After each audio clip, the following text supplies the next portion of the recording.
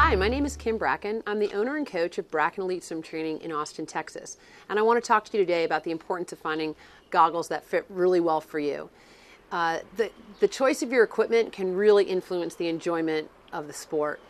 Uh, it's just like getting a good running shoe. You want one that fits and feels good and you like when you're when you're running. Goggles are the same level of importance.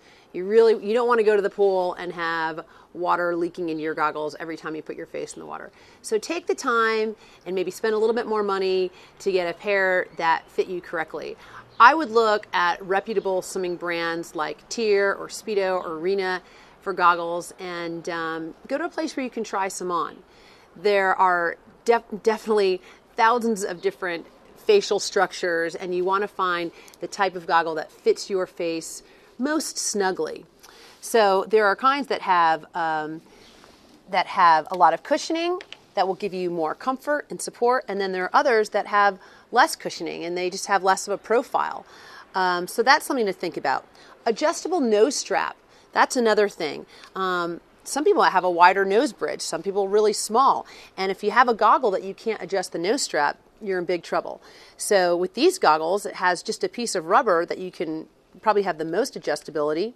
Um, some goggles come with different sizes of nose pieces, and then there are others that will not adjust at all. So be cautious when you're buying those kind.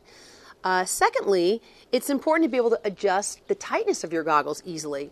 So if that's the case for you, you want to make sure you have some goggles that will adjust from the side and you don't have to untie the back or unclip things, and you can just make a quick adjustment while you're in the pool. If you're swimming outside, it might be uh, behoove you to get goggles that have a metallic covering so that the sun doesn't get in your eyes and cause a lot of glare, and also helps help protect your eyes in the water. You can get prescription goggles uh, if if you have poor eyesight. They're definitely more pricey, but if you don't wear contact lenses and you want to see that wall when you're coming in for a flip turn, I would encourage it. So hopefully this has helped you figure out uh, at least the importance of finding a goggle that fits your face. Everyone's different.